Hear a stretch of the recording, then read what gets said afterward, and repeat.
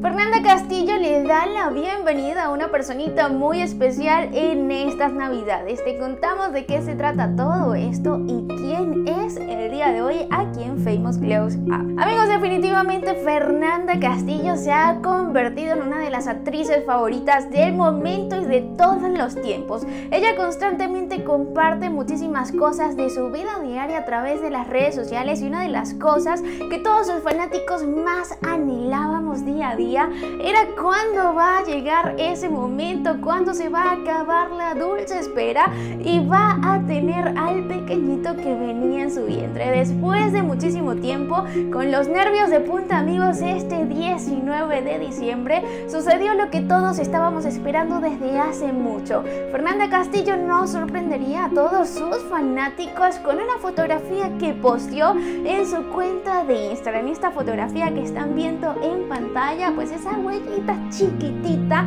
tan chiquitita es la del bebé de Fernanda Castillo. Y por supuesto que en el pie de esta publicación saldría la fecha y por supuesto el nombre de este pequeñín que con tanta ansia estábamos esperando desde muchísimo tiempo.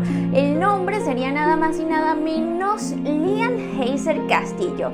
Nació el 19 de diciembre de 2020. Por supuesto que en este 2020 todavía podemos terminar con buenas noticias y pues con un hashtag que la verdad nos enamoramos. El hashtag dice somos tres. De hecho, pues esta misma fotografía junto al mismo copy lo postearía su, su novio, su pareja, Eric Heiser, que está más emocionado que nunca. Aquí recibieron mensajes completamente agradables por parte de la mismísima Angelique Boyer que les da las felicidades y por supuesto las felicitaciones. Está tan emocionada que ojalá se nos una muy pronto con, con Sebastián Rulli. También otra de las personas quien se pronunció al respecto fue la mismísima Sandra Echeverría que le da la bienvenida al bebé y por supuesto le da unas felicitaciones completamente gigantes a la parejita y también la mismísima Eli Mujica, conductora de Suelta la Sopa, pues les dijo felicidades a ambos.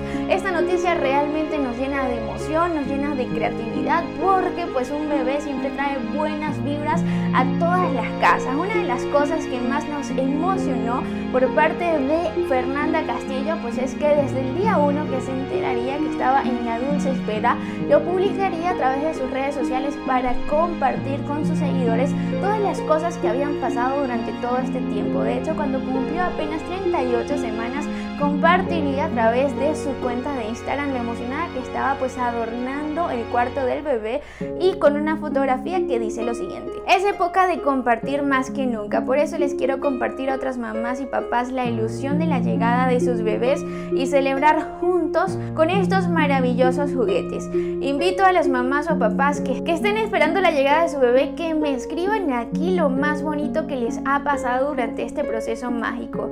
Yo escogeré a cuatro los contaremos para hacerles llegar pues un regalo. Esto significativamente pues es una manera de buscar interacción y por supuesto pues estar cada día más cerca de las personas quienes constantemente la están apoyando. Hasta el momento pues la mismísima Fernanda de Castillo no ha compartido la carita del bebé, posiblemente esté esperando para vender una exclusiva o quizás no quiera hacerlo por, por cosas de energías positivas y negativas de esas creencias que constantemente andan por ahí rodando. Amigos, ¿qué opinan ustedes acerca de toda esta noticia? Me encantaría leerlos aquí abajo en los comentarios y por supuesto que nos vemos en la próxima de Famous Close.